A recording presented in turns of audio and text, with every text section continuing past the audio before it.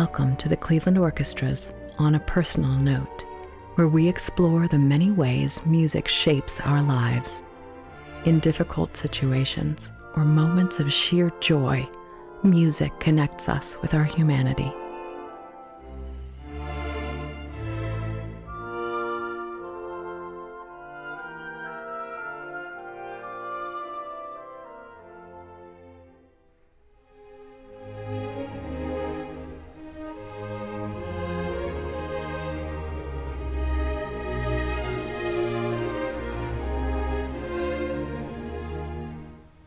My name is Franz Welser-Möst. I'm music director of the Cleveland Orchestra, and I want to talk to you today about my lifelong relationship with the music by Franz Schubert.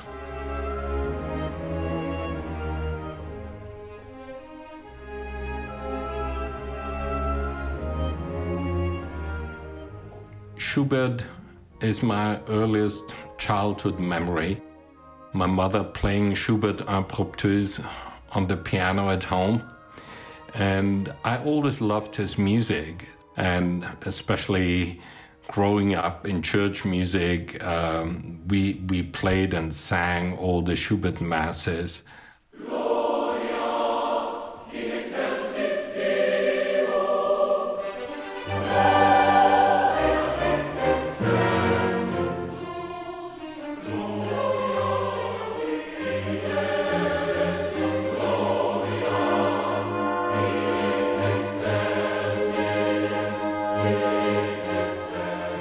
Thinking about Schubert, who started composing very young and actually died at the age of 31 and was uh, a maniac, really, when you think about it, how short his life was and how much music he has written throughout that short life.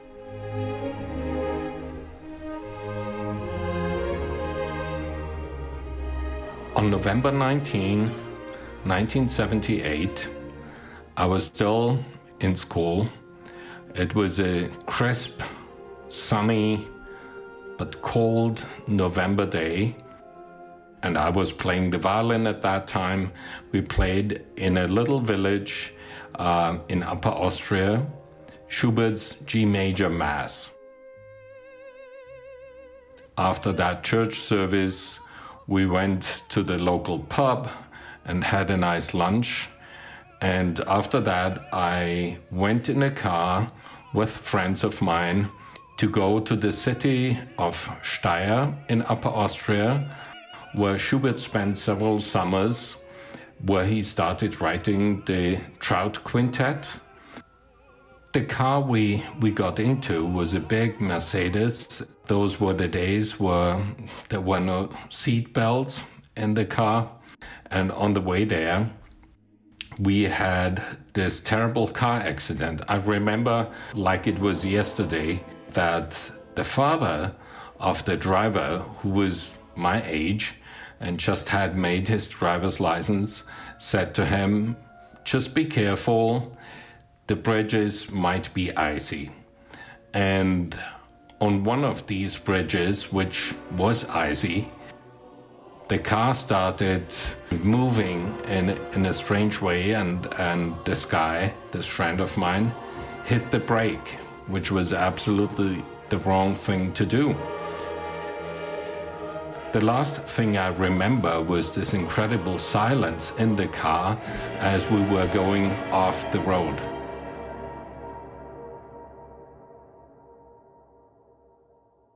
Then I lost conscience the car turned over several times, and uh, we landed somewhere on a field.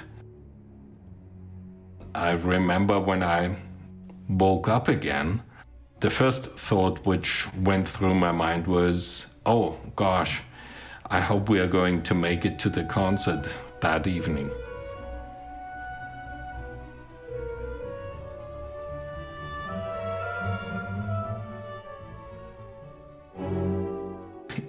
Circumstances like that, nature is really forgiving and good to us because at that time I, I could not comprehend the magnitude of what had happened. That the woman next to me in that car had died and everyone else was, was in intensive care.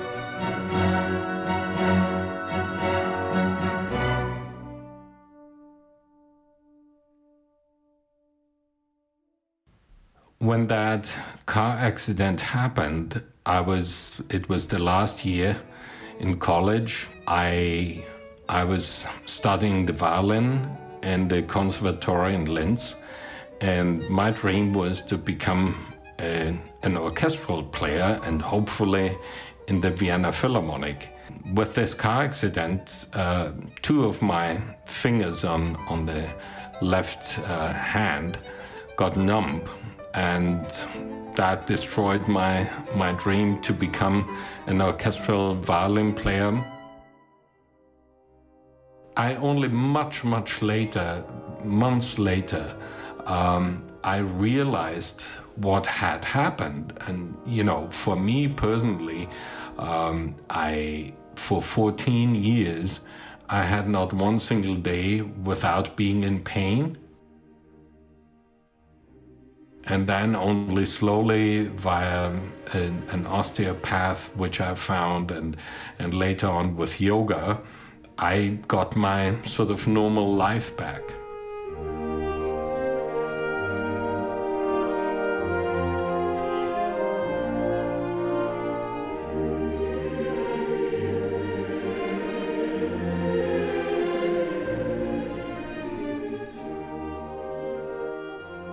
Happened to me on that November day was that I had the chance to look at the world in a different way.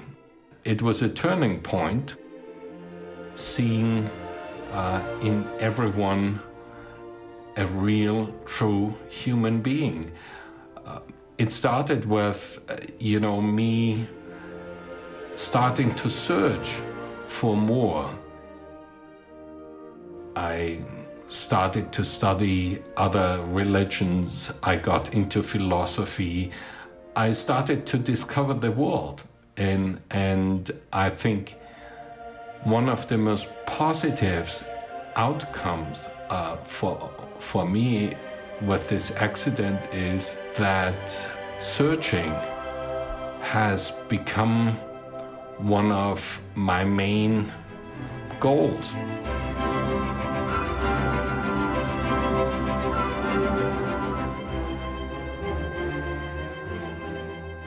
And that's something which that accident really taught me.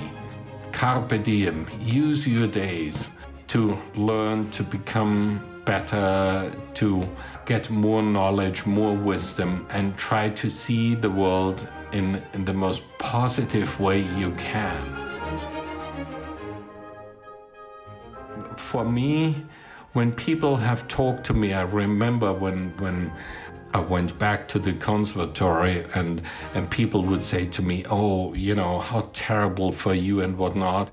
And very quickly I had this attitude, no, this is something great which has happened to me because it opened my eyes in so many ways.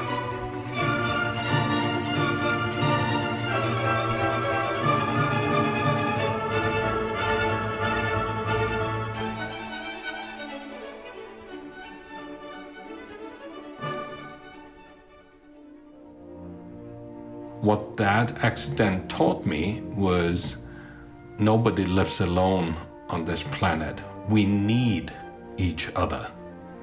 And we have to look out for each other. We have responsibilities. Classical music is about humanity. And humanity means that you have to take care of the others as well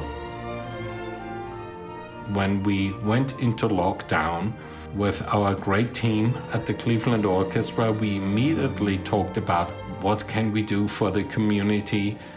We have to be leaders.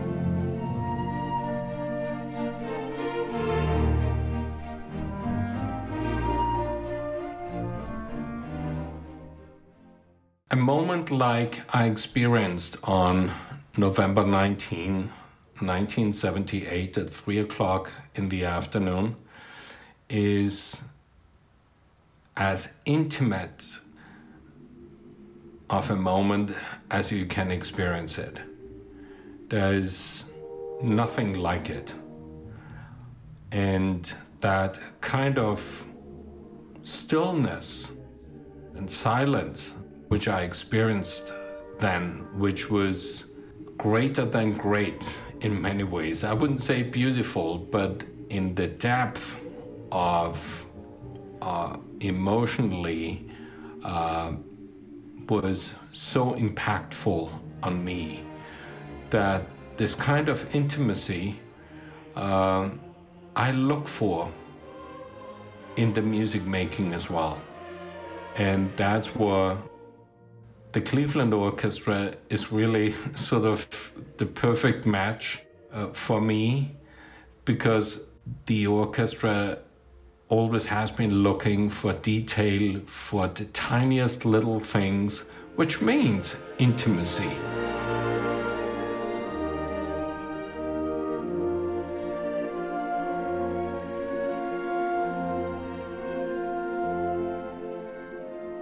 Making music together in that wonderful, little, very rich world of Schubert, that is something which connects my emotions, my memories of that accident with what I do today with one of the greatest orchestras in the world.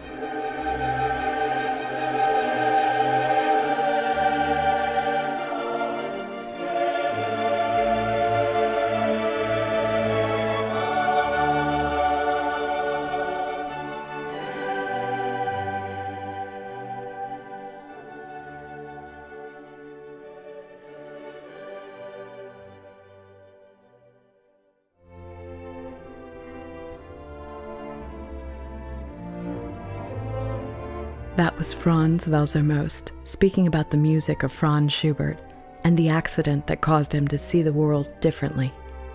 A near miss that marked the end of one dream and the beginning of another. You can hear the second movement of Schubert's Mass number 6 in E major coming up right now. It was recorded in Severance Hall in 2019. And on a personal note, we're so glad to be back with you for season two. You'll find many more powerful stories about the personal nature of music on clevelandorchestra.com slash podcast. Thank you for listening. Thank you for subscribing. And thank you for rating us. It really does help other people find us.